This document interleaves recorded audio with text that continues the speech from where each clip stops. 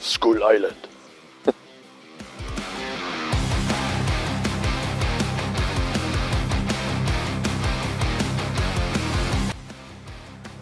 Servus, Freunde. Äh, wir haben jetzt gerade ein bisschen Langeweile und warten auf unseren Marco mit dem Bagger zum Verladen der Stämme. Da haben wir uns gedacht, dass wir mal den, den Protoss, den Pfanner Protoss mal kurz vorstellen, weil ich, also ich persönlich bin extrem begeistert von dem Helm.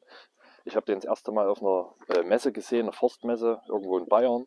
Das ist schon, könnte schon so 7, 8, 9, 10 Jahre her sein. Ich weiß gar nicht mehr ganz genau, wann der rauskam, der Helm. Gibt es schon ein Stück auf dem Markt. Ich fand ihn damals relativ klobig, so optisch. Und dann durfte ich ihn mal aufsetzen.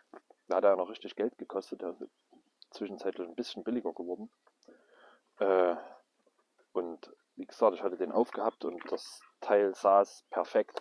Und war ich sofort davon begeistert. Da habe ich mir vor drei Jahren mal einen gekauft. Ja, äh, sitzt wie, wie sagt man, zweite Haut. Nee, keine Ahnung. Naja, egal. Wie angegossen, ja genau. Äh, macht jede Bewegung mit. Du hast hinten einen Schnappverschluss, der die ganze Sache ratzfatz, kann sie mal aufsetzen, ratzfatz fixiert. Zack, hält wie verrückt. Ich habe jetzt meinen mein Unterzieher nicht drauf auf dem Kopf, deswegen ist es ein bisschen größer eingestellt. Kann man auch relativ schnell verstellen. Auf relativ viele Kopfgrößen anpassbar festgemacht hält. Die Gehörschütze kann ich einfach nach hinten wegklappen, das finde ich auch ganz cool. Nach außen und nach hinten. Ja, also das. Ich, ich setze einfach mal auf, mach mal fest. Jo. Ja. Und dann einfach zack, zack und fest hält. Gibt dem Helm natürlich auch nochmal Stabilität. Ja. Äh, das Visier ist natürlich auch der Hammer. Also nicht wegen dem Bild, sondern gibt es zwei verschiedene äh, Lochgrößen von dem Visier. Das ist, glaube ich, jetzt die kleine. Das ist jetzt die kleine. Das ist die kleine. Das ist ein Millimeter. Und dann gibt es, glaube ich, nochmal zwei Millimeter oder sowas.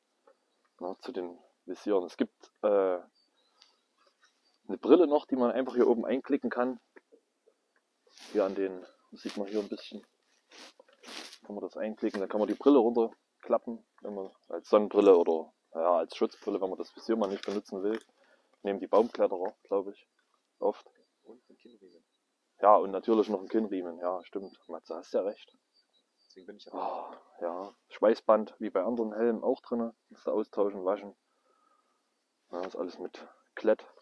Geht relativ schnell. Ich habe hier noch äh, eine Freisprecheinrichtung eingebaut. Weil die von Pfanner finde ich nicht ganz so gut. Die ist extrem teuer und funktioniert nicht ganz so gut. Wir haben wir von Sena, das ist eine ganz einfache äh, Motorradfreisprecheinrichtung.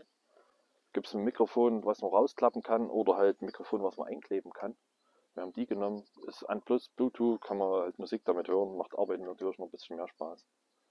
Jo, so viel zum Pfanner. Gibt es in vielen diversen Designs. Man kann es auch direkt selber designen lassen, glaube ich. Kann man, nicht, du kannst ja, kannst ja aus tausend, tausend verschiedenen Varianten auswählen. Genau. Belüftung ist extrem gut, fand ich von Anfang an. Jo. So, Mats, was soll ich noch sagen? Setz doch mal auf. Ja, na freilich. Setz den immer auf. Setz, setz den auch und leg den auch im Bett an. Ja, ja, als Fahrradhelm, ja, also man kann, ach, das ist keine Ahnung. Ah, Kann man auch als Fahrradhelm nehmen, ja, wahrscheinlich. Mach mal den Deckel zu. Ah. Yeah. Na, jo.